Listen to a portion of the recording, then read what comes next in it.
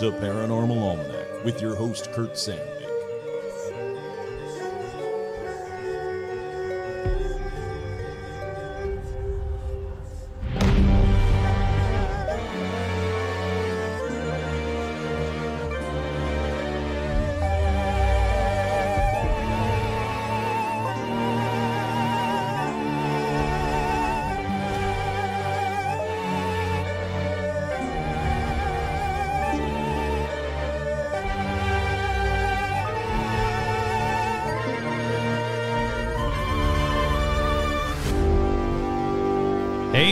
Hi. That's right. Welcome to another edition of Paranormal Almanac. And on this edition, let's talk about the paranormal West Virginia. What? You'll find out. Relax. But first, as always, we have shout outs. Now, here, I'm going to ask you again if you're a fan of this podcast, please, please, please don't skip ahead. There's so many people that do not like that I do shout outs for the patrons every episode. Well, one, get like get used to it because I'm not I'm not getting rid of it. And two, you should be thankful for them. Because if it wasn't for the patrons, you wouldn't have as many episodes of this show. Speaking of, I had a bunch of people say, "Hey, you haven't done an episode in like 2 weeks." That's not true. Patrons got 2 episodes. So, you know, it helps support the show and you get more episodes of a show that you say you like. So it's all win-win. But we got shout outs going out to Eugene, Mike G, Tracy, Ryden, Jet, Brenda, Richard, Logan, Lori, Alec, Roger Funk, Karen, Duran, Lori, Rebecca, and Stephen Share. Hey, howdy, hi. Thank you for the letter. Jane and Jennifer. Oh, wait, I've got another person to thank for a letter. Hold on one second. Logan, thank you for the thank you for the awesome card, Logan. Thank you so so much. Also, I'll get to Tracy's in a second, but thank you, Logan. I was I really really did enjoy that card. That was very cool of you. Thank you so much, and I'll take you up on that when I'm in New York. Uh, anyhow, where was I? Roger Funk, sure, why not? Karen, Duran, Lori, Rebecca, Aaron, Ann, Stephen Share, that's where I was. Jane Am, Jennifer, Heather G, your friendly neighborhood skinwalker, Zuzus, what's it? Nico Share and the Mouse. And again, hey, howdy, hi, and thank you for the letters. Absolutely love them. Mark and Tina, Tortuga, Mike from Jersey, Jay Bizzle, Andy, Tracy. There we go. That's the one. Thank you so, so much. First, special shout out. I'll do a special shout out at the end, Tracy, as well. But special shout out to Tracy for just an absolute wonderful, being an awesome person. She's actually doing well. I know. I'll get to that later. I'll get to the what, what she's doing in a minute. But um, special shout out to Tracy. I'll get to the rest in a minute. Virginia Mailman, Tony the Magician, Jason, Vicky, Crow, Lobita Works, Glacier Man, Isabel, Jen Jen, Stacy, Amber, Tracy, Kelly, Joe, Menace the Beast, Kick Ass Magic, Robot Webcomic, Sandy, Paige, Couch, Bentman, 666, Scott, Andrea, Melody, Vanessa, Marisol, Liam, Becca, Jake, Charlotte, and the Beasties. I got it in the first take. Elizabeth, Sherry, hey, howdy, hi, it's been a while. Art, Tim, Art Muffin, that is. Tim, I thought you were going to come and visit me. That's okay. Well, next time. Kenneth, Ricky Ricardo, Alexandra, George, Zozo the Demon, Hayden, Cindy, Ashley, Carrie, Robin, Will, Lauren Mangano, Russell, Isabel, Audra, Dorian, Cindy, Paula, Jerry, Jeff T. Joe, Lawrence, Melissa, Lauren Strawn. Hey, howdy, hi. It's been a while. I got to text you in a minute. Veronica, Autumn, J. Mark, Carolyn, Jaden, and Ashley, Todd, Jamie, and Elijah Hendrickson. It's been a while for them, too. I got to hang out with them. Dan, Laura Pitts, and gamer fans. Okay. Special shout outs to Holden, Holden Yeager, the amazing composer of the theme song you just heard. Always two special shout outs, as always, to Joe Teague and to my boy Stitch. But this special shout out also for Tracy. First, a happy birthday, Tracy shout out. So happy birthday to Tracy. It's just past her birthday, but still counts. And a shout out to Tracy for not only being cool and, you know, sending me some fun stuff from Detroit while she was there. What's that? She was there? That's right. Special shout out to Tracy for trying to find the treasure. I uh I've messaged I've been so busy I've barely had a chance to message her, but I was I looked into my theory a little bit more. If you don't know what I'm talking about, there's a there's a treasure hunt called The Secret. Go listen to that episode. It's very recent, past three, four episodes, but maybe. Um where I think I'm onto something. Where I have a theory about where one of the treasures from The Secret could be, and it's in Detroit. And the more I look into it, the more things, coincidences, whatever you want to call them, pop up that make me think, God, I might be right. There might be treasure right there. So um, I messaged her a couple of theories, a couple of things that you know. I, I rewatched that um, Expedition Unknown episode with Josh Gates. Uh, if you've got time, if you're in the area, you know, coordinate. Go to the Facebook fan page and coordinate and see if maybe you could help Tracy to find said treasure. Here's the deal. Whoever finds it is going to be like is is the person. So obviously like I gave you all the clues or hopefully all the clues. Hopefully they're all there where I think it's at. So I would like a shout out of some kind and Tracy is is being so generous to say that she's going to be the person on the street and it'll be my I get to to turn in for the uh, for the the jewel. But I think it's I think it's a I think it'll be a whoever if she finds it. Like I say, if she finds it this weekend, it's her and I, man. She's she's the one that she deserves it. She deserves all the hard work. She's put you know boots on the ground, if you will. So if you're interested and you're in the area in Detroit, not too far away, and you think I might be right, if you think I'm wrong, then obviously don't waste your don't waste a weekend. But I don't know. more I look into it, the more it seems like there's a lot of clues that are right there. One of the things that they were talking about, the author was talking about on, I believe it was the Expedition Unknown. I watched so much stuff about The Secret recently. Um, it could have been one of the YouTube videos or, or, or whatnot about him or, uh, you know, with him is that he said don't overthink the clues. That's the biggest mistake that people have been making is that they overthink the clues. And if you actually look at the ones, the three that have been found, they didn't overthink the clues. There is some creative cluing going on, creative clues, but if you once you like once the guy found like the Boston one, it's it's straight on. I mean, he he's like I know it's generally in this area they said five spokes or something like that, and he found these five wharfs. That took him to the next step. I mean, it was all right there, just kind of laid out. Home plate. It was really laid out for him.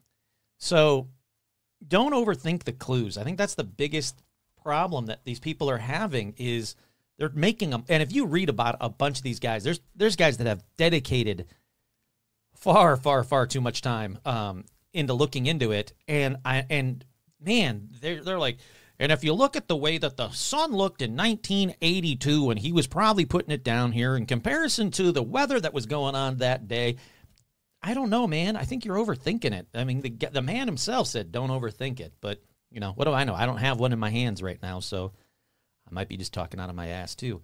But anyhow, let's get right on in. Special shout out to Tracy, though. Thank you so much. I think that's very cool that, uh, you know, if and again, the worst thing that happens is you spend a day on, on, on a beautiful island in Michigan. That's pretty. Alrighty, let's get right into paranormal news though.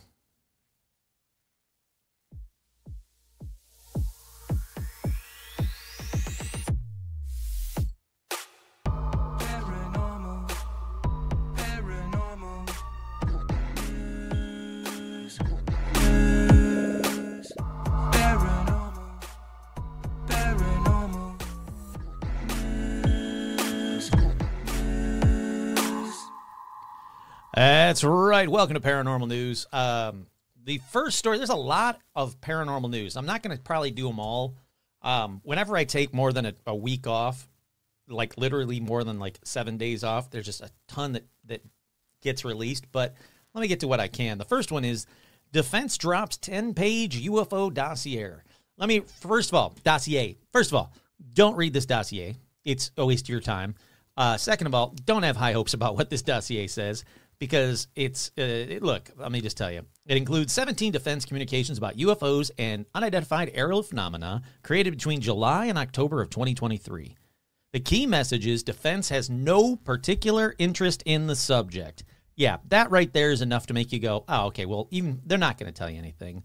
This is just just a, another kind of smokescreen to be like, yeah, we, we don't have anything. Even though within a year, uh, like less than a year ago, they said we've got extra extraterrestrial uh, biological entities. We got ETEs, bodies, basically alien bodies, and we have wreckage. Now they're saying there was no scientific or other compelling reason to continue to devote resources to the recording and investigation of unidentified aerial phenomena.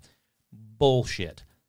Every week, as you'll see in this week's, how many of these I decide to read, every week there's a dozen UFO sightings, UAP sightings, credible evidence but they still have the absolute gall, the balls on the government to be like, nah, there's nothing there.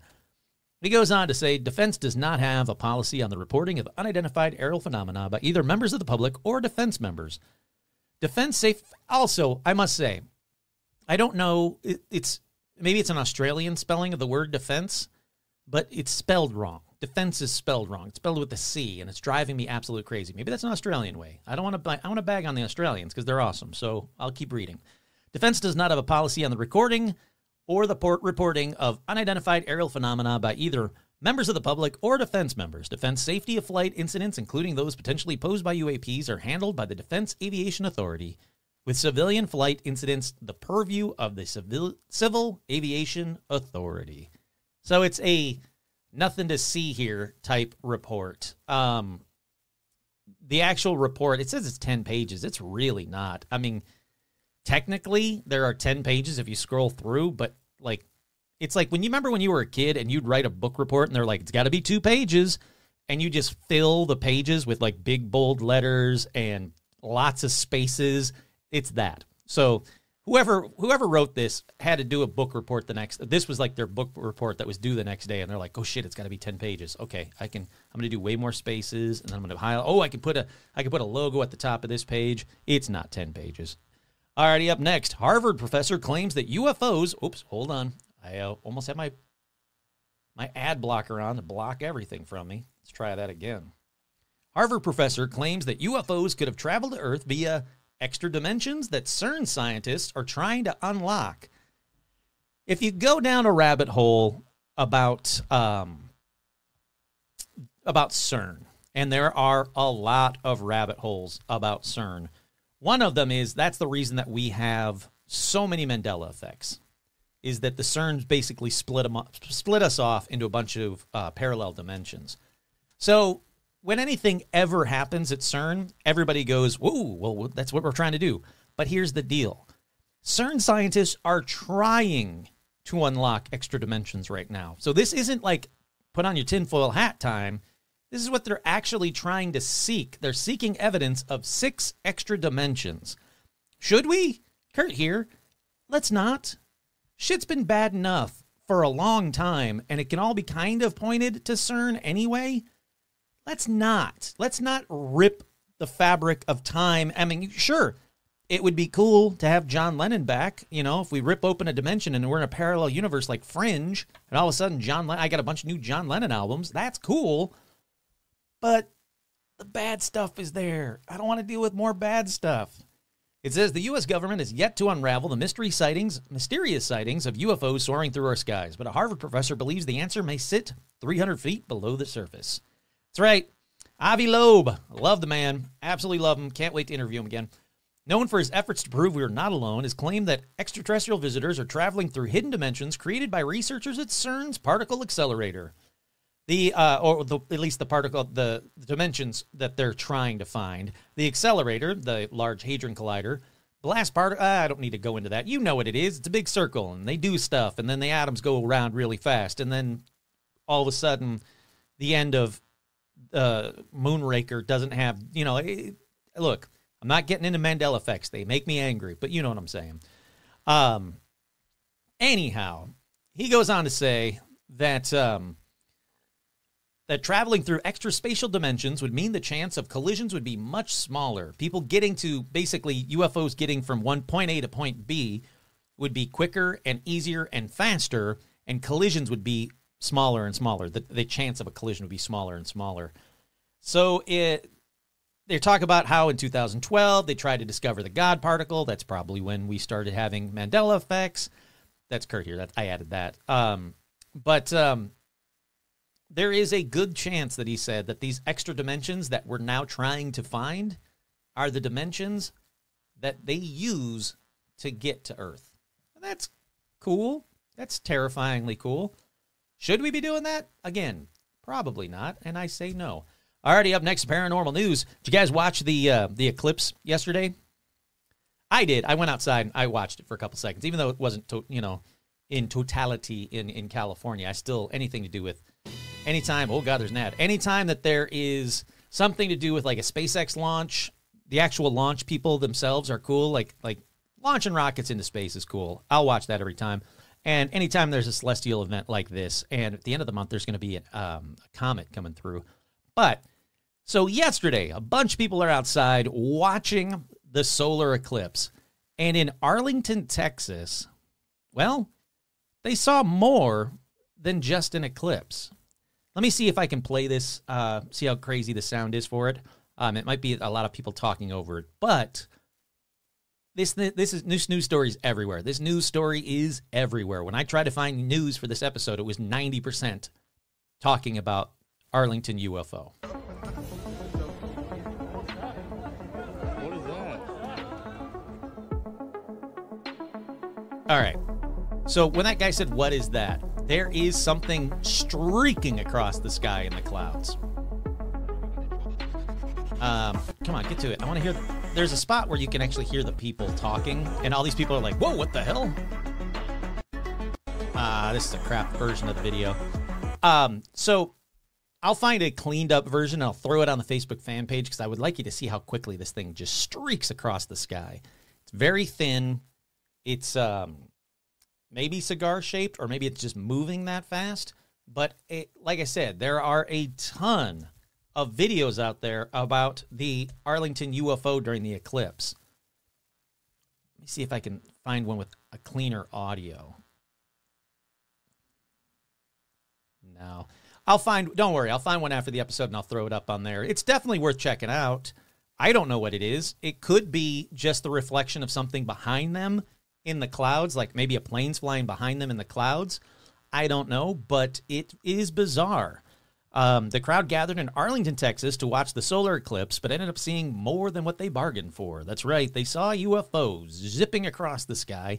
Footage share, widely shared on, on social media shows the unknown dark object shaped like a disc or a cigar. Hey, I said that. Moving amongst the clouds. It shoots across the screen, disappearing, disappearing beneath the cloud wisps before then emerging again. One, one person can be heard screaming, Whoa, there's something flying through the air. What the F is that? Meanwhile, another shouts, It's aliens, it's aliens. That's the version I'm trying to find. There's a bunch of people talking in the one that I watched initially. Um, they people are saying like, "Hey, this is the grip this is the best UFO video ever because it's not fake. There's a ton of versions of it. You can hear genuinely people freaked out, like, what the hell is that? So, what was it? Let me see if I can get this video to play. Oh, there's a commercial. Hold on. I don't hear anything this time. All right, I'll have to find it after the fact. It is, like I said, it's really neat to watch. Um, even if I can't find the one with clean audio, it's really neat to watch, and it is all over the news right now. But I want to keep moving on. I want to get, I want to keep going here. I want to get to the actual episode itself. Surfboard shaped UFO filmed speeding around the moon by NASA's Lunar Orbiter. That's right, another UFO video. This one I'm not as sure about. But um, the object and NASA's orbiter were moving past each other around 7,000 miles per hour. It looks like a blur, but NASA scientists quickly figured out what they'd caught. Ooh, this is an update. I didn't. They the last time I read it, they didn't know what the hell they had caught. Um, I thought it was just going to be end up being a computer glitch, but let's find out. Um, while some speculate the sighting was digital artifact, that's what I thought. Others think it's a UFO, but the American Space Agency later revealed that LRO captured Korea's lunar orbiter Danuri as it soared just a few miles away. Oh, interesting. Now, that does make total sense. The Danuri streaked by the LRO about three miles closer to the moon than the NASA spacecraft. That's what gave it that appearance. That makes total sense to me. All right, well, they figured it out. So it's not a UFO anymore. It's an O. So or I guess it's an FO. So I'm moving on. Up next in paranormal news, Western U.S. residents report the most UFO sightings. What are they actually seeing? And this one's from space.com. It's difficult to explain why we have so many more sightings in the West. There's a lot more um, secret air bases, not secret air bases, but you know what I mean. There's a lot more military air bases, in my opinion. But they say those of us in the Western United States who have enjoyed vast open spaces may also be more likely to report UFOs, according to a new study. Um, let's see. The study, based on about 98,000 reports over 20 years, is an open source online data set maintained by the National UFO Research Center, NUFORC, and it modeled how reported UAP sightings coincide with environmental variables such as light pollution and cloud cover, as well as things like proximity to airports and military installations.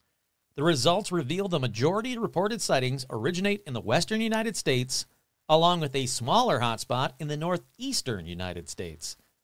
Now, there's actually a, a map, like a colored map that shows it, and it is exactly whatever you're picturing. You're you're right.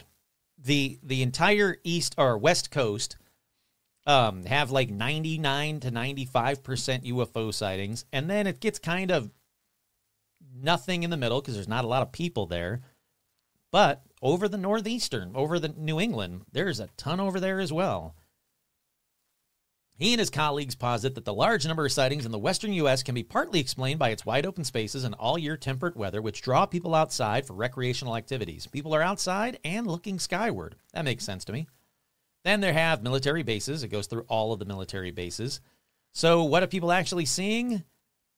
Let's see. It uh, it states that its uh, NUFORC does remove obvious hoaxes as well as highlights a small subset of potentially interesting, credible cases it also removes, oh, good, it removes Starlink. That's good because that's one thing I was to about to say. They said that there's more technology in the sky than ever before. So the question is, what are people actually seeing? It's a tough question to answer, and it's an important one because any uncertainty can be potential threat to national security. Except for what, like three stories ago when everybody was saying, like, we don't care. Bullshit. They said we don't really know at this point why there are fewer sightings in the South.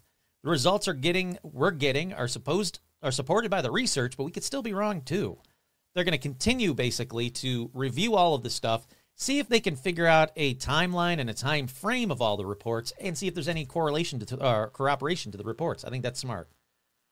Alrighty, I'm to cruise through this next one. Up next in paranormal news, here are all the places Bigfoot is reportedly be seen, reportedly to be seen in West Michigan. That's right, West Michigan's becoming a hot spot for Bigfoot. Kent County, Michigan, a lot of them. Ottawa County, Michigan, which I have family members there. A lot of them. Muskegon County, which I've been there many times. A lot of them. Allegan County. I don't know where Allegan County is, to be honest with you. There's only there's a few of them. Ionia County. There's quite a few of those. Barry County. Quite a few of them. So if you live in Michigan, don't stop looking for UFOs, but also look around at the ground and you know try and find Bigfoot. But again, as always, don't fucking shoot Bigfoot. It's it's real easy. Words to live by. This next one comes from two special paramaniacs. Uh, my friends Rowan and Kevin. They were in New York City uh, for their anniversary, and they're from out here in California, obviously. Well, not obviously, but they are. Um, turns out there was a Bigfoot sighting in Central Park, and they were actually in Central Park that day. And unfortunately, they didn't end up seeing him, but it was just publicity for the new uh, Bigfoot movie that just came out that I really want to see. So if you saw Bigfoot in Central Park, don't worry, you're not crazy. You saw Bigfoot in Central Park, but it's not real. Alrighty, up next in paranormal news supposed Sasquatch sighting near Grand Mound investigated by Bigfoot researchers. Where the hell's Grand Mound? Doesn't really say. Where is this? Boy, it doesn't say where this is. Well, let's keep reading. Maybe we'll find out together. BFRO reported and investigated a recent sighting of a Sasquatch north of Centralia. Still, I have no idea where I'm at. According to one witness who was riding motorcycles with his friends and his three and a half year old son, hopefully the son wasn't riding a motorcycle, just on the back of it, the group spotted something running across a ridgetop about a half a mile away. It was very large and human shaped. There was one colored tan brown moving across a very rugged terrain, making a beeline for the tree line. Beeline for the tree line. The three of them watched the figure for 30 seconds before it went out of sight. It moves so fluently with little arm movement, like unlike a human running, it was easily 10 feet tall for us to be able to see it from so far away. They said, based on all the descriptions, what you got there is a Bigfoot. Kurt here. I could have told him that a while ago. Alrighty, with that, that's the end of paranormal news. I'm going to jump ahead. I'll save the rest for later. Um, let's talk about merch real quick. Head on over to teepublic.com slash Oh, wait. teepublic.com slash stores. Oh, I'm screwing it up. T Public. I gotta, I gotta, I gotta read it. It's been a, I've been, it's been ten days. I forgot already. Uh, Here we go. teepublic.com slash stores slash paranormal dash almanac. That's teepublic.com slash stores slash paranormal dash almanac for all your paranormal almanac merch. Like I said, it's not just shirts. You can get tank tops and hoodies and crew necks and baseball shirts and wall art and mugs and pillows and totes and tapestries and pins and phone cases and stickers and magnets. You name it, they got it. Hopefully, I've made at least one shirt that you like because there's a lot of styles on there. I, there really are. And if you're a first time buyer, you get 35, 30% off when you sign up for email and text, which that's a damn good deal. So please check out the merch. It helps the store out quite a bit. Now, before I get to the actual, or before we take a break, I should say, um, you know how I've said many a times, if you're a regular listener, a paramaniac, you know, I've said many a times that, you know, conspiracies just aren't, conspiracy theories, they're just not fun anymore. They're all the bad kind of conspiracies. And frankly, it just makes me sad for the world and people in general. Well, I went to a show on Sunday with a couple of friends of mine. It's a show called Randy Feltface. Now, if you don't know who Randy Feltface is, I highly suggest you find out. Go to YouTube or, you know, whatever social media you want TikTok, uh, Facebook, uh, Instagram, pick one. Look up Randy Feltface. Watch him. A, absolutely hysterical. It's a puppet, or he's a puppet, not it. Wow, that's weird. He's a puppet. His name's Randy Feltface. He's a comedian, and he was testing out his new show that's just about to go like make the rounds. It's called like the Banana Factor or something like that. He was just testing it out, but it is a conspiracy that has been sent to me a few times to investigate. And I was actually going to do some investigation and do an episode eventually about like, you know, more batshit crazy conspiracy theories, like one of those kind of episodes. I can't. I cannot do that conspiracy any justice in comparison to what Randy Feltface did. It was so brilliantly done. And you think the entire time, well, this is just dumb and, and batshit crazy, and there's no possible way that this is really a conspiracy. Oh, but it is. Oh, it really is. And I was telling my friends after we got out, I'm like, oh my God, that's a real thing. And they're like, shut up. And then I showed them, like on the way home, I was telling them, yeah, it's a real conspiracy and it's real batshit, it's real crazy, and it's the fun kind. They he started to mention a couple of the darker parts of the conspiracy, which is why I've never not done it yet. But he did it in such a humor filled let's make fun of the the the the bad stuff way that it was so brilliantly done. So if you get a chance, Randy, if Randy Feltface is coming to your town, go see it, especially if it's something about the banana factor or something with banana. Trust me, it's freaking brilliant. It's well worth your time, and the tickets are pretty cheap. All right, with that, let's take. And I don't get paid for this. That was literally just a show that I went to that was just that fantastic, and it was happened to be about something that I was going to do an episode about. With that, let's take a quick break. We'll be right back. We are back. Okay, for all those people that complain that it takes like six minutes for him to get into an episode, A, I don't care. You've got, you can fast forward. Just fast forward. It's not hard. B, have you ever listened to Marc Maron? It's like 55 minutes before he gets to an episode. I just gave you a bunch of paranormal news. I consider that part of the episode. So let's let's stop that complaint, if you will. That'd be fantastic. And the another complaint that I would love to have people stop because I don't understand it is a lot of people are still giving me bad reviews saying he doesn't even talk about paranormal. It's all bullshit politics. What? No, it's not. What are you talking about, man?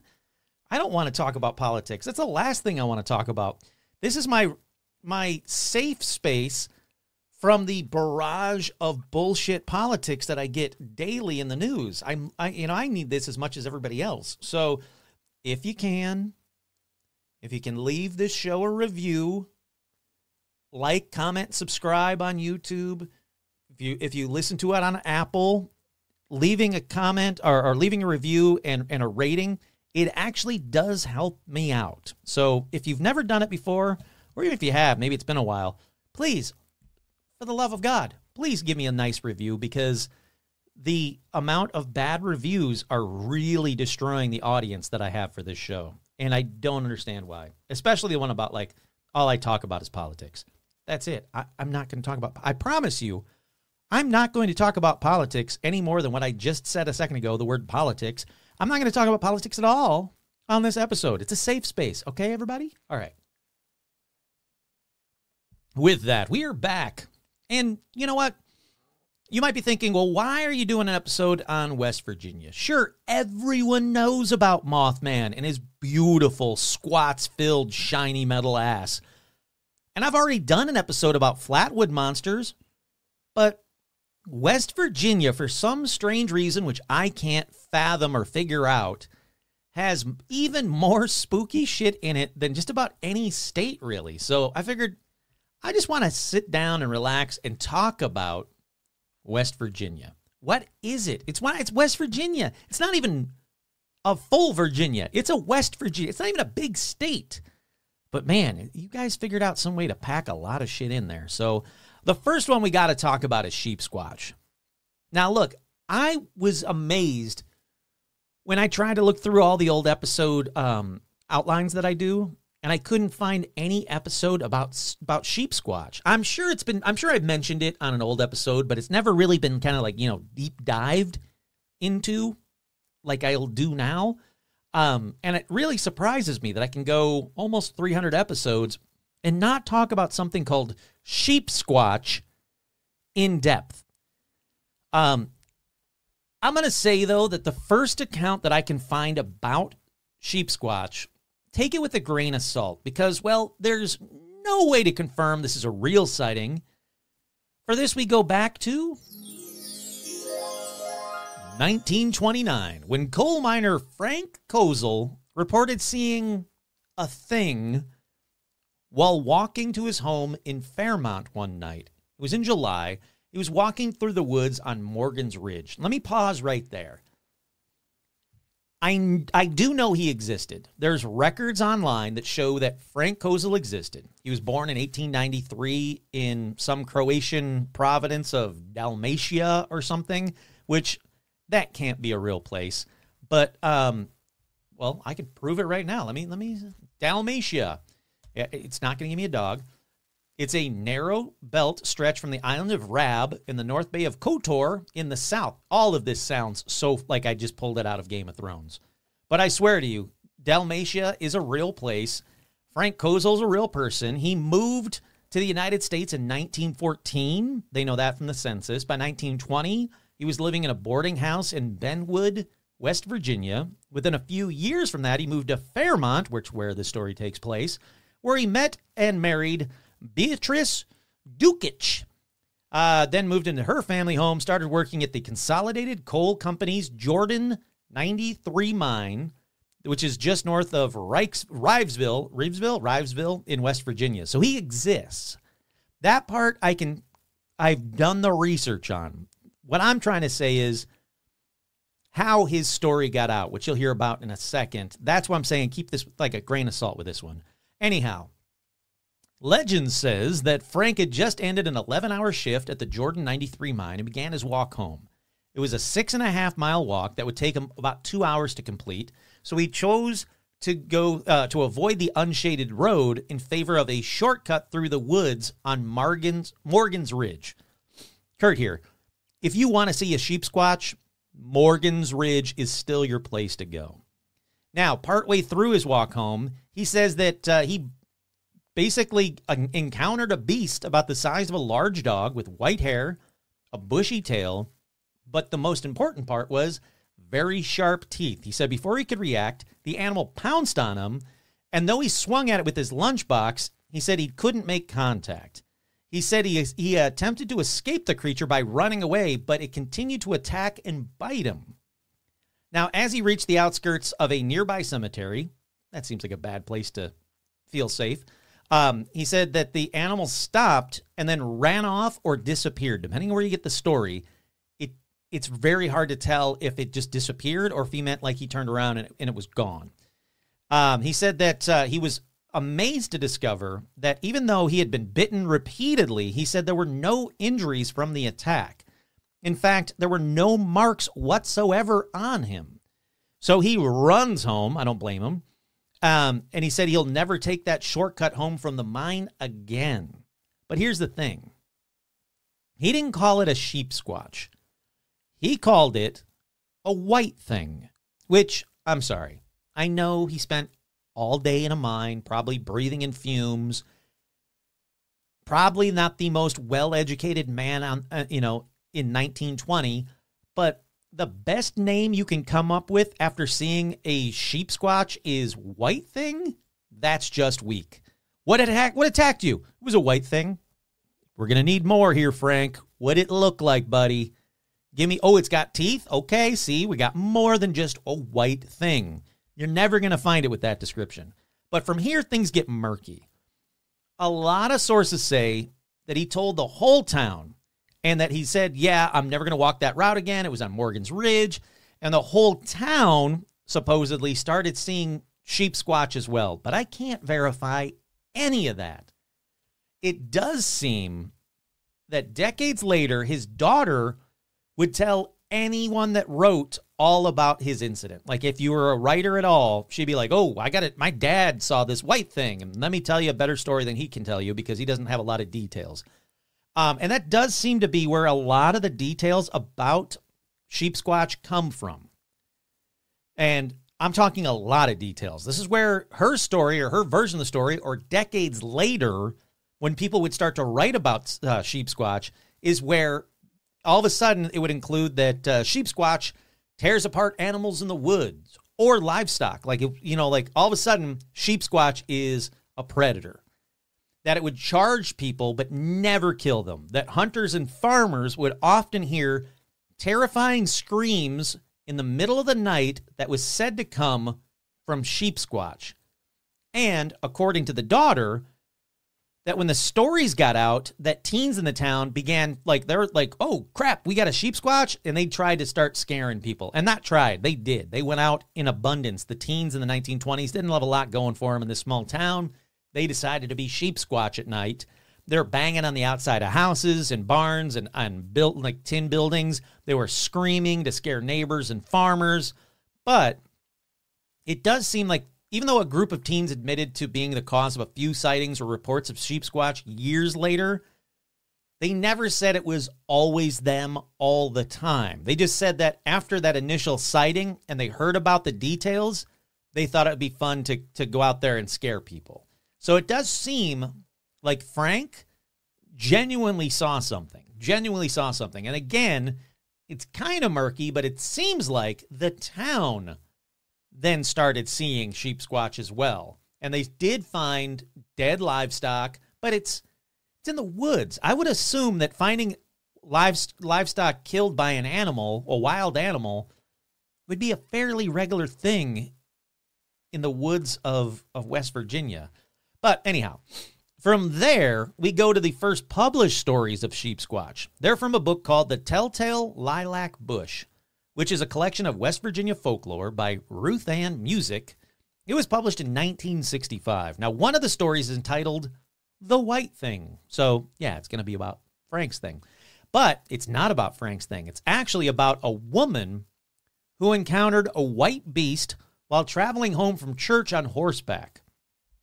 This one I, I can't verify. They don't really talk about like the woman's name or anything like that. I can't go into the history, but I'll continue with what the story says. So this white thing, this this beast, charged to the woman, then retreated back into the trees after she fled on her horse. Now, once she got home, uh, the woman left her horse outside and went into the house. But the next morning, she found her horse dead with most of the flesh torn from the horse's bones. Creepy, terrible story. I like horses. That's bad. Uh, then there's nothing concrete online, so we go to the next batch of sightings, which are basically from the 90s, the 1990s, that is. Not even like, I know the first one's 1920s, but like 70 years of not a lot of sheep squatch that I can find online. But in the 90s, there were a bunch of sheep, uh, uh, sheep squatch sightings. Ooh, that's tough to say. Sheep squatch sightings. Uh, they all describe sheep squatch as having a large, furry, or woolly white creature on all fours, but sometimes bipedal Sightings report that the creature has a dog like head, but with the goat or ram like horns and sharp teeth and claws. Now, these sheep squatch sightings stated that it ran from people. But then it seems to get more and more aggressive over time. And then investigators said that given the location of the sightings, Sheep Squatch is from the TNT area, which might sound familiar to you because that's the same area as Mothman. All right, there's been even more recent sightings. They all have appeared to have been or originated in Boone County, Putnam County, and Mason County. So sheep squatch does seem to get around, but it does stay all in West Virginia.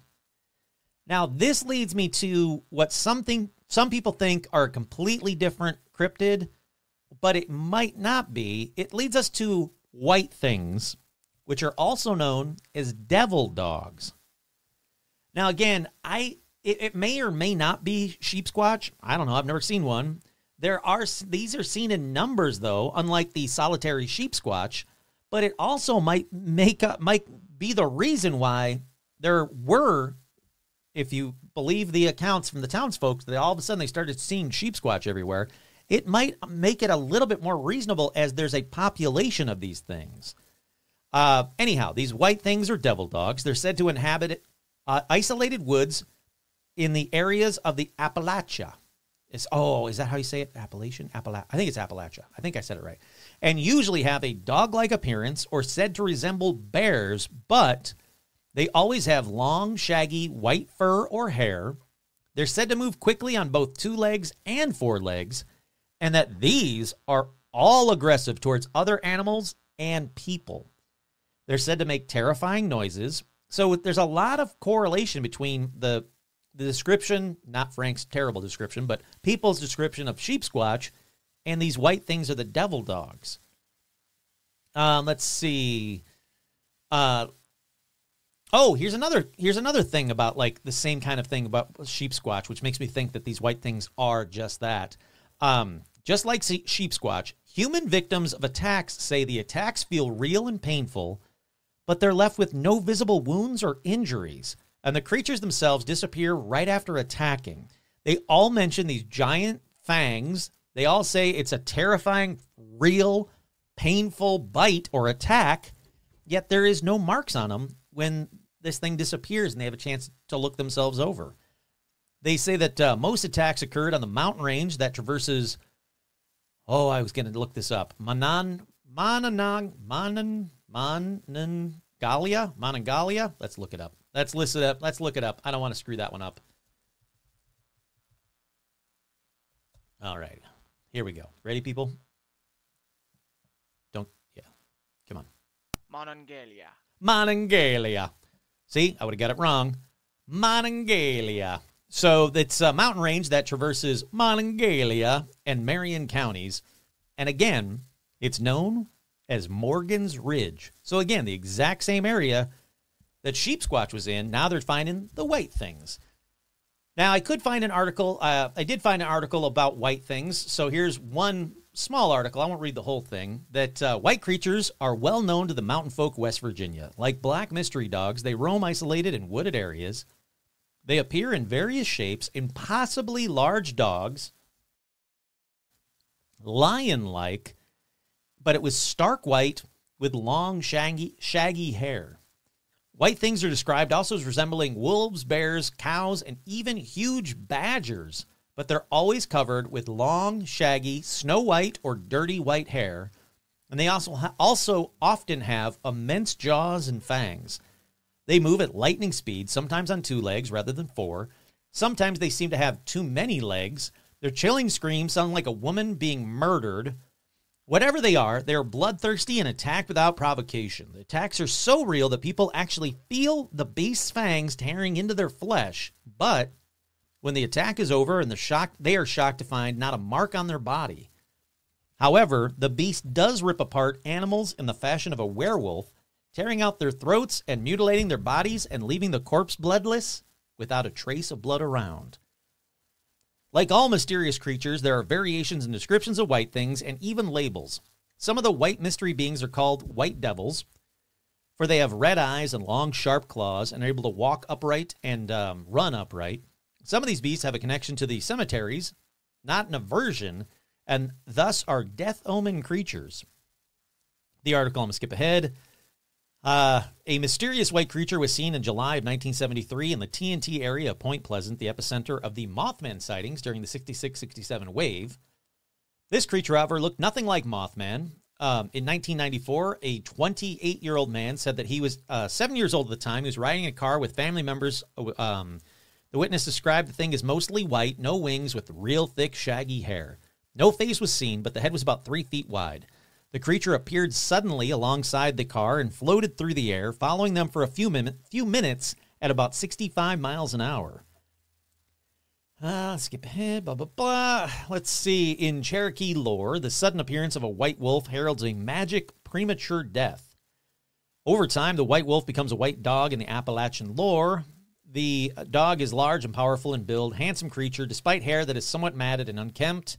Shows up in roads, follows people's homes, uh, sits at the distance from dwellings as though waiting for someone. The white dog does indeed wait not for a friend or a lost owner, but for a death. Um, but let's skip ahead. Dog is invisible to some people, not to others. Once the white dog appears, the person is marked for death and dies tragically within a few days or weeks. Okay, here's the thing. That was not the case with any of the people that sh- that saw sheep squatch. There was nobody that died within a few days or just two weeks. So that is definitely more of the Cherokee legend. Skip ahead some more. I caught a glimpse of one of these driving through Pocahontas County, West Virginia last year. Reminded me of a picture I seen of a starving polar bear. I'm fairly certain it was just a, just a hallucination, though, as I had been driving for eight hours at that point. But these guys are actually supposed to be hallucinations. Makes you wonder why West Virginians have been vividly hallucinating about white animals since before West Virginia even existed. Kurt here, eight hours driving is not that long. I've done that stretch quite a many, quite a few times. Um,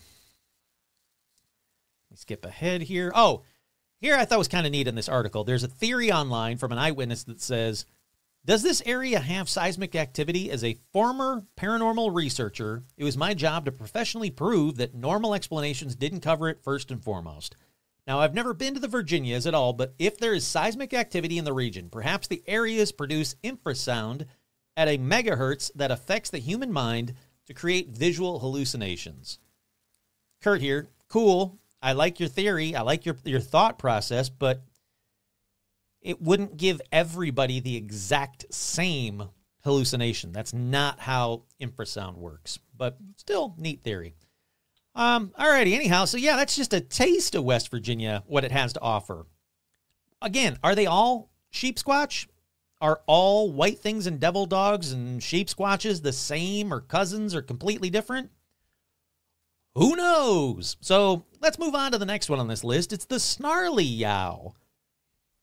Now, the snarly yow seems to be a ghost dog that's seen all over West Virginia. One report says a man walking along the road near the curve, he heard a dog run up beside him. He reached down to pat the dog, but nothing was felt or seen.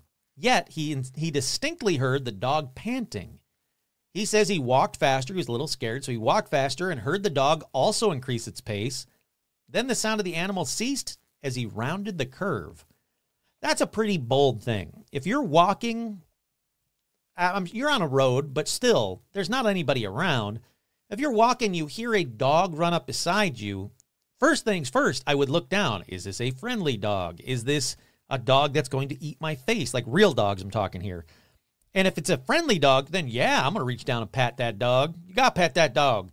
But you you just instinctively like, ooh, I hear a dog. I'm gonna reach down to pet that dog. That's a bold move, dude. I wouldn't recommend it. You're gonna lose fingers that way. Um, this the snarly yow's also been reported for a while too, because I found a report from the early 1900s that say Around the turn of the century, a beast resembling a huge dog with large paws and an ugly red mouth, Kurt here, don't kink shame, don't fucking body shame this dog, was known to exist on South Mountain, east of Hagerstown, Maryland. At Turner's Gap, the site of the 1862 battle, near where the Midnight Battle was supposed to have happened. I have no idea what any of that means. It says that hundreds of people saw the dog, and horses particularly were afraid of the strange animal. The dog would suddenly appear on the National Pike, now alternate Route 40, blocking the road. Now, without inflicting any damage with its vicious looking teeth, it would confront travelers, then disappear before astonished men and women. Kurt here, let me pause by saying this makes it sound like it's like uh, the same thing that sheep squatch would do, where it would take a bite out of you and then nothing would happen. That's not the case. Snarly Yow, at the most, snarls. So that's where the snarly part comes from. I have no idea what a yow is. You know what? Let's look it up. What the hell's a yow? Let's look up a yow. A yow, used to express pain or shock. That doesn't help me. Um, but what is what is a yow? This this does not help me. I don't know where the, the term yow from snarly now yeah, yeah snarly yow comes from. But uh, let's see. We can go to another report in 1882 when Madeline Vinton Dahlgren wrote a book called South Ma- South Mountain Magic, and it has a bit in there about the snarly yow. One night about 10 o'clock, as he was returning from the village of Boonsboro, whither he had gone to make some little purchases for his family, he encountered the black dog. It was clear starlight, and the ungainly form of the beast could distinctly could be distinctly traced. It was black and bigger than any dog he had ever seen. And as he came nearer, the dog the object intercepted him and stood guarding the road in such a way as to forbid his crossing. So he so to use his own expression, he fit him that is nothing daunted. He fought at him. He fit him. Fit him must mean he started fighting this dog. Dick move. But to his confusion, as the creature was attacked, it grew longer and presently seemed to extend across the road, making no noise, but showing a very wide and very ugly looking red mouth, while all the time the thick and heavy blows rained down upon it. Fuck this guy. The sinewy arm of the woodsman met with no resistance, but rather seemed to beat the air. Presently, the still lengthening shadow passed onward, and then the man, not a little flurried at the strange nature of the vision, went home, nor did he receive the least bodily harm from this ominous combat. No, it's not a combat. You're being a dick. You saw a ghost dog and you just started wailing on it? All right, the next reliable, I guess, sighting. That one happened in the summer of 1975. A guy named Will or William said he was coming home when he saw the snarly yow. He said it was black, much bigger than any dog he'd ever seen. As he came closer, the animal moved to the center of the national pike and blocked his way, just like that dude from the 1882. So he stayed a bit away and he tried to scare it off the path by throwing small rocks and sticks at it. And, um, you know, getting big and screaming, all the shit you're supposed to do for an animal. He said he noticed that the small rocks went right through the dog as he threw them, like a ghost dog, like it went through him. He said the dog snarled at him, then just walked away and vanished. So here's the deal all the sightings are related to the National Pike Trails. One dickhead hunter said he saw the snarly yow and just said fuck it and just started shooting at it. He said he shot at it several times. You you all know what I'm going to say. And the bullets went right through it, so he just ran away scared. Then there's another sighting that sounds a little too made up, like when a this this one I don't this one's big time grain of salt. Um, a mountain man named Big Joe was out riding the trail on horseback when he saw it. The dog started running before the horse, so he chased it. He said it was kicking up dirt and gravel, but then it suddenly vanished. That's it. That's his entire that's that's Big Joe's entire story. Um there is one story from the 1800s I can't verify about a guy that got drunk in Boonsboro he became so rowdy that the law tried to arrest him, but he just ran and got on his horse and rode off. But, yep, Snarly Yow ran out in front of the horse on the trail, throwing him off, breaking his shoulder. So he's thrown from the horse, broke his shoulder. He says that as he laid there, he saw the dog just vanish. There's another story about a minister returning along the road after holding an evening prayer in the in the uh, church near Glendale. He claimed to have seen the dog on several occasions but didn't throw anything at it, didn't try to shoot it. Then there's the tons of reports of people seeing a black dog and throwing bricks and stones at it to see the stuff go through the ghost dog and it just walks away. Kurt here. How about you stop throwing shit at an obviously harmless ghost dog? Snarly Yow, never done anything. The most it does is it blocks your road for a minute and then snarls at you a little bit. That's it. It's probably snarling at you because no one's gone up and pet the damn thing. Because that's the first thing I would do. I'd be like, "Oh, snarly yow! I gotta get, I gotta pet that dog." Then there's this uh, unverified, horrible story about a bunch of people driving in the area when they hit a dog with their car. They said they heard the thud and felt it, quote, ugh, crush underneath the car. Good Lord, I hate this story. Thankfully, though, when they stopped, there was no dog or anything under the car. Then they saw about 50 feet behind them a huge black dog standing on the road, glaring at them. The dog bared its teeth as if in defiance and then vanished before their eyes. Can people stop hurting this ghost dog? I want to go there. I just want to go to West Virginia and adopt the snarly yow. That's my new goal. Someone, it, doesn't have to be me. Someone please go and adopt the snarly yow. Bring him treats. Let's let's stop with the hitting him with cars and stuff. Uh, here's a comment from one of the articles I found online about the snarly star, snarly yow. I talked to a lady where I used to work who claims to have seen a ghost dog in the same area as a girl when she was a little girl. Uh, she was a Ziddles, Zittlestown native. That can't be real. She was 15 years old at the time. She said she was with her 16 year old cousin near her home on Alt 40 at the intersection of Ziddletown's Road, Zittlestown Road. It was just after dark. They both heard a noise, looked, and thought they saw a headless, white, translucent dog walked by with a chain collar around its neck. The noise with the chain was the chain dragging on the road, making a clinking sound. Both girls briefly discussed what they saw and ran away scared. This incident occurred in about 1962. Um, but here's a big deal. That sounds nothing like any other description of the snarly yow. It just seems like she saw another ghost dog. Maybe there's a bunch of ghost dogs in the area. Other sites say that eyewitnesses saw it standing on its hind legs, and they said it's similar to the tales of old German settlers from that area, but I can't really find anything about that either. I really wanted to find stuff about that. A producer for a local cable company was in the area shooting footage for a show about local legends.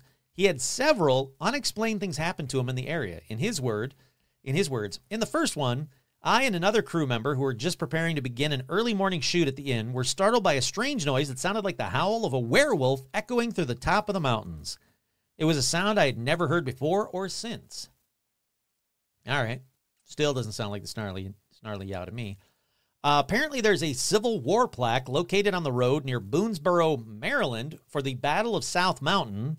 But also on that display is a sidebar that reads, Beware of the snarly yow. Yeah, I don't agree with that. Beware of the snarly yow. Be more like beware people because they throw shit or shoot at or drive their cars over a completely innocent snarly yow. I don't like it. Um, all right, with that, let's move on. Let's go to the ogua. And no, I'm not saying water in Spanish. It's ogua, not agua. All right, so the ogua, O G U A, not to be confused with agua, A G U A, is also known as the Rivesville or Rivesville monster or the Holt monster. Kurt here, yeah, not a monster.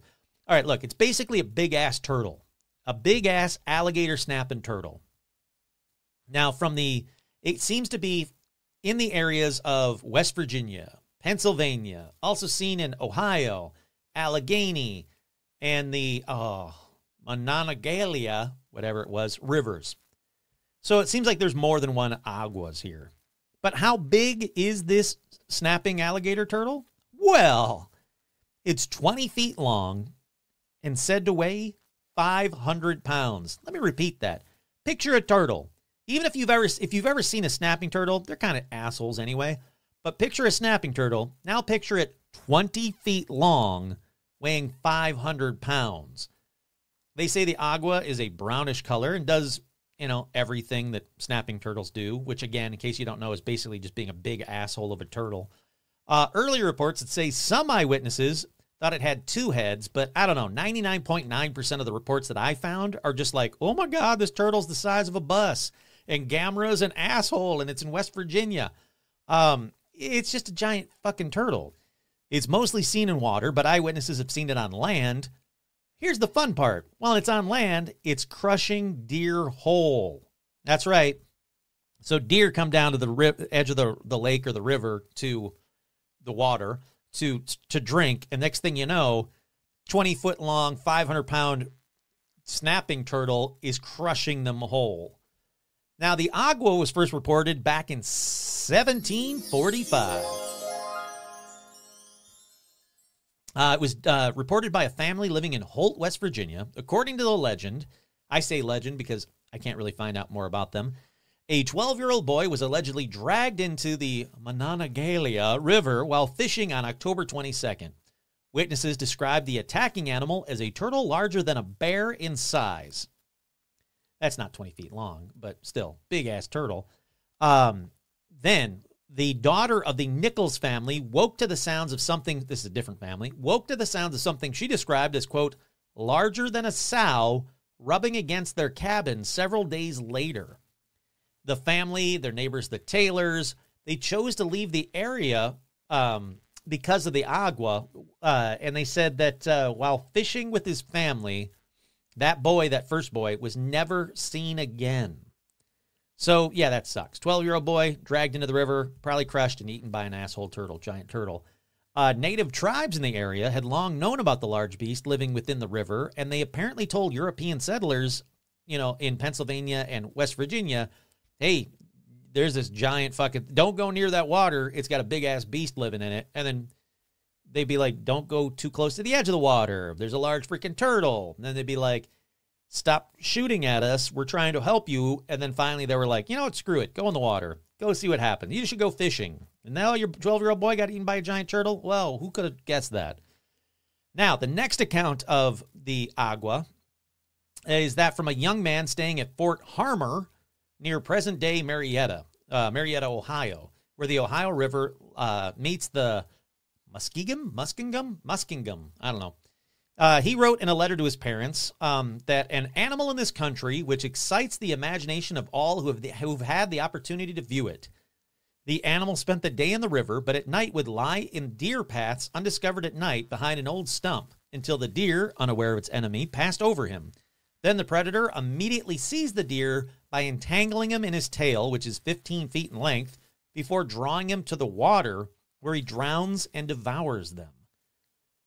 Uh, according to the letter's author, men stationed at the fort had even managed to club such an animal to death and found it to have two heads and weigh 444 pounds. Again, problem here is what happened to the body? It's a turtle. There's a should be a giant freaking turtle shell around there somewhere.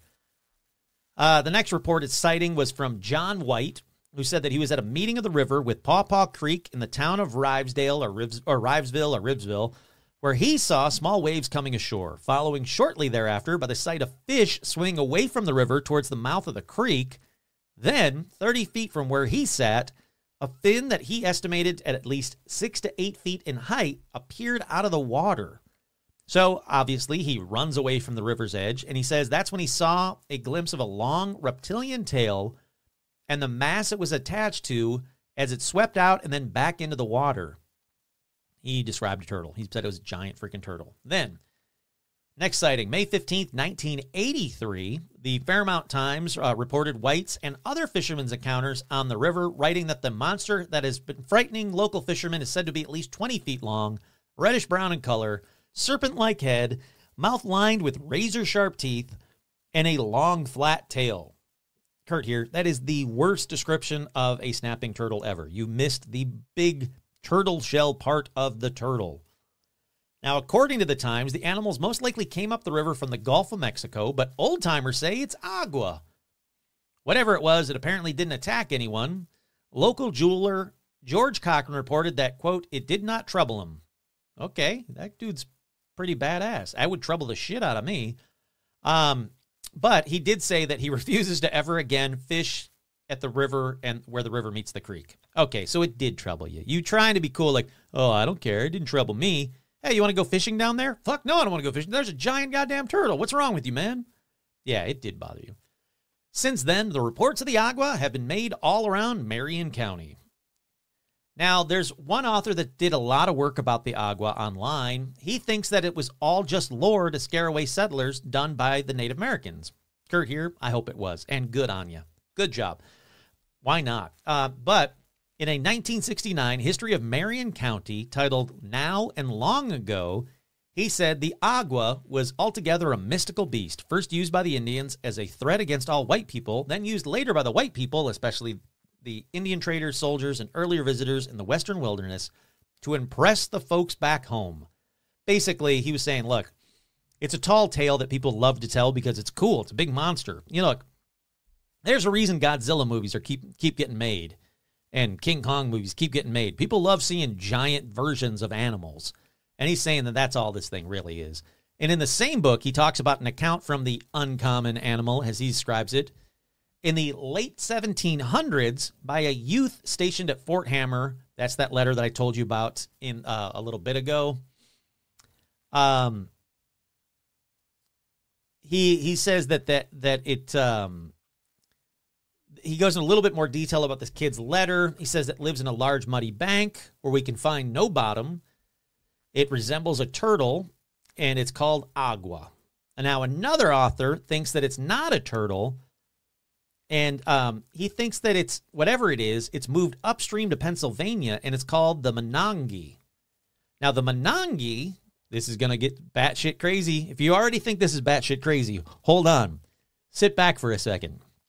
So another author, let me let me start this again. Another author thinks it's not a turtle, thinks it's moved upstream to Pennsylvania. It's called the Monange, and the Monange has been lurking in the river since French and Indian War, since the French Indian War. And the Monange is half man and half fish. Why does he think that? No one's ever reported it looking like that. Kurt here, no freaking clue. Why the hell this one guy is like, nah, you're all wrong. It's been there since the French Indian War. It's half man, it's half fish. It's basically a merman that doesn't, you know, it's being poorly described. No, I'm sorry. Screw you and your Monange. Alrighty. Uh, in 2015, an article that talked about old records from the period chronicled skirmishes between British soldiers and, quote, bizarre creatures from the river. Local tribes had named the creature Monange after the river, he said. Kurt here, I can't find anything about this. He said there was a rash of sightings of the Monange beginning in the early 1930s and lasting through the end of the 1950s. Sightings were reported weekly, and the Pittsburgh Police Department responded by creating a task force specifically to deal with this aquatic creature, half man, half fish. Kurt here, nothing. Nothing. The author says that in 2003, photos of Monange were taken from a fishing boat. They appeared online, but were mysteriously removed and never to be seen again. He said the area is renowned for its strange history, Bigfoot sightings, giant skeletons found in the 1800s, and even a strange plant like creature named Vegetable Man, who was sighted in the woods near Viz, Ribsville, Rivesville in 1968. All right, reminder to myself I need to do an episode about Vegetable Man. Kurt here, I'm going to sell it right now. I bet you money I can't find out crap about Vegetable Man. So, here's the question Is there a giant turtle still alive to this day? Yeah, probably. Is it more plausible than Vegetable Man? I haven't done any research yet, but I'm going to say, oh hell yeah. That that author, he I think he was doing some drugs. I'm just going to throw that out there because it doesn't sound like the turtle that everybody's been talking about up until that point. Um yeah, so there we go. We got uh scary sheep squatch, we got ghost dogs, we got giant turtles. Well, what other weird shit is in West Virginia? How about the Grafton Monster? Yeah, yeah, yeah. We all know, not a monster. Okay, so for this one, we don't go as far back, but we do go back to June 18th, 1964, when the Grafton Sentinel reported twice about the Grafton Monster.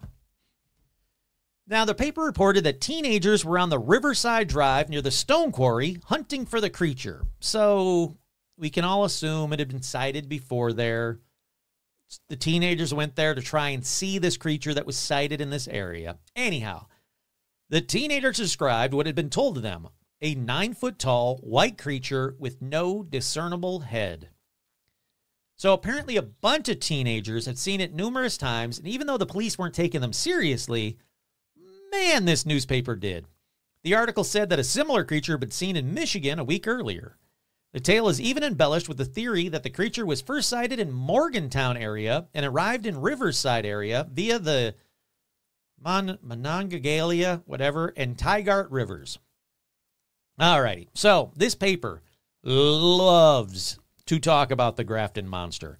The next day, on June 19, 1964, the paper, the paper then reported even more teenagers had joined in the hunt. Then, even more articles and interviews detailing other sightings started happening that same summer. They were written about it again and again and again.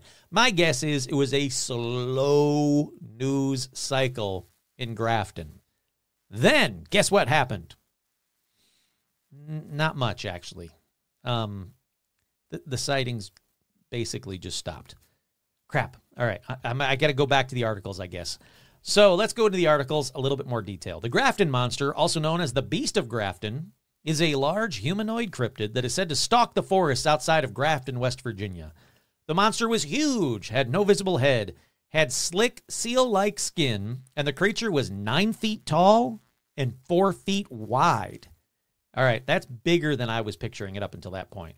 It goes on to say June 16, 1964, around 11 p.m., Robert Cockrell, a reporter for the Grafton Sentinel newspaper, was driving along the Tygart River on Route 119, known as Riverside Drive, on his way home from work. There, he suddenly encountered a large white creature on the right hand side of the road, which was the side that the Tygart River was located on. The creature was lumbering around the side of the road while a low whistling noise was being emitted from further away in the direction of the river. That's reported a couple of times and very weird. Sorry, I had a hiccup. Uh, that's reported a bunch of times. It's very weird. It does make a lot of people think that the Grafton monster was actually an alien because of that whistling sound, and either in one direction or from all around you. If you saw the Grafton monster, chances are you heard that weird whistling sound. Um, he was able to see that the creature was very large and appeared to be made entirely of muscle. Ooh, it's muscly. It's also had white seal-like fur and disturbingly didn't dis- didn't appear to have a visible head. The creature moved quickly out of view, and upon realizing that the white obstruction was a living creature, he said he accelerated down the road until he reached home and probably pissed himself. Uh, once home, he called two of his friends, Jerry Morse and Jim Mouser. He told the sighting to them and asked them to come with him to the location of the sighting in order to investigate it further. They got there, and they said that they were all they were able to find was trampled grass, but a low whistling sound that seemed to follow them around the site. Yeah, whistling part's weird. So the next day at work, Cockrell goes to his editor of the Grafton Sentinel and he says, "Like, look, we gotta tell, we gotta tell these stories." He said that the editor didn't take him serious, but um, let him write the article. He assumed nothing more would come from his sighting after that point, but then um, all these people were, you know, going around town saying, "Did you read the newspaper about the monster? This monster's out there." I don't know why I'm doing that the accent. They, I'm sure they don't have it. Uh, in a very short time, there was a monster hunting party that was formed, predominantly made up of local teens armed with baseball bats or whatever they could find. He says. These roving groups of teens scoured Riverside Drive near where he saw the, the creature. And then guess what? They started to see the Grafton Monster too. Um, it goes on and on. Basically, what I already told you. Um, all in all, about 20 sightings were reported from this monster hunt, all written about by him. Uh, let's see. Here's a couple of the uh, interviews with people, eyewitnesses from the newspaper. I've seen the creature called the Grafton Monster several times. When I was a young man, it was very real. My first encounter, I was with my father cutting wood. We'd finished and we were loading the truck when our two dogs started barking. We stood there and listened. Something was walking, getting closer. My dad told me to get the gun from the cab. He carried a double barrel 10 gauge with zero zero buckshot. I don't know. It's a shotgun. Whatever it had picked up, whatever it was, it picked up its pace and con- continued towards us. All we knew for sure it was big and wasn't scared of us, the dogs or the chainsaws. It stopped about 50 to 55 yards from us in the trees, and, it, and everything went quiet. My dad pulled both hammers back and stood in front of me, told me to be ready. The next thing that happened, I'll never forget. It stepped out, looked at us. Kurt here, it doesn't have a head. What did it look at you with? Took three strides in our direction, turned and walked back into the tree line. That was my first sighting of the beast, and I'll never forget it. My second encounter was about two months later at night, fishing alone. I spotted him on the opposite bank, and I got the hell out of the area. I saw the monster near the river early in the morning. It saw me and instantly froze. It did not move. I was fishing at the time and left all my gear there and started to run away. As I ran, it turned and turned. I saw that it did too. It turned away and started running off. As I got near my truck and began opening the door, I heard a whooshing noise and a bright light above the tree line. I drove off and got my two gears, got my gear 2 days later. Again, that's probably why people associate the Grafton monster with UFOs. Um, what was it? I, I don't know. One teen in 1964 suggested that the creature was an escaped polar bear, but they investigated it and they couldn't figure out what or where a polar bear was doing in Grafton, West Virginia. The Grafton Sentinel posted on June 19th that the alleged monster was simply, quote, an individual who had been pushing a handcart lo- loaded with high loaded high with boxes along Riverside Drive on Tuesday night. They said that due to the dim lighting and the wildly imaginative teens, the handcart was most likely the, the cause of the story and the sightings. They said it's fairly certain that monsters don't go around pushing handcarts loaded with boxes. Kurt here. Um, first of all, that's really all the info on the Grafton monster. Was never really seen again. Was it a handcart with boxes? Okay. If so, how did you get any of that description from that? I mean, people were all saying it was like muscly and it had seal fur and it was ginormous and it had no head. I've seen a handcart with boxes and I've never once gone like, monster. Uh, was it a polar bear like in the TV show Lost, just wandering around West Virginia? I don't know. Was it an alien, some people say? I don't know. Nobody knows what it is. Stop asking questions. I'm going to keep going because you're asking too many questions. So, while talking about West Virginia, I could talk about Bat Boy, the infamous cryptid from the Weekly World News, June 23rd, 1992 cover story, Bat Child found in cave, because it's about West Virginia and about a cryptid uh, which I did buy back in the day. But um, even back then, as a kid, I was like, oh, this shit's fake. Um, so let me just tell you this. As much as I want Bat Boy to re- be, be real, Bat Boy is not real. I want Bat Boy to be real more than anything. It's a great story. It's a great cover to the magazine. It's the reason I bought the Weekly World News and got into weird shit. Not got into, but stayed into weird shit. But he's not real, so I'm not going to waste your time. Sadly, Batboy is the perfect legend that never happened, but still holds a place in my heart. So, um, let's move around. Let's move on to other paranormal stuff that happens in Weva. Kurt here. Do people call it Weva? Because they should. It's West Virginia, Weva. You should call it Weva. Uh, let's go to the Wells Inn, where there isn't any cryptids, but there are some ghosts. That's right, Pivot. All right, the grandson of the founder of Sisterville's Sistersville his name was Ephraim Wells. Well, he built a hotel to cater to oil barons and upper class travelers in the late 1800s. Many say he's never left. That's right, because a ghost walks the halls, turning on lights, slamming doors, moving objects, all the basic ghost stuff, and that many people have reported the sound of writing can be heard coming from Mr. Wells' old office. Again, I seriously can't imagine loving any job that much that I'm going to keep doing it even after I die. But hey, you know what? You do you, Mr. Wells. You do you. I don't, there's got to be a better afterlife than, well, you're just a ghost now, but you still got to do the stuff and still got to turn off the lights and, you know, make sure the hotel's running good. That's some bullshit. But that was just a teaser because there are many more ghost stories in West Virginia, and they'll all be told in the next already written episode of Paranormal Almanac. That's right, cliffhanger. Come back, same bat time, same Bat Boy time, same Bat Boy channel for the next episode. Paranormal ghost stories from West Virginia. Thank you all. Maybe I'm the hell of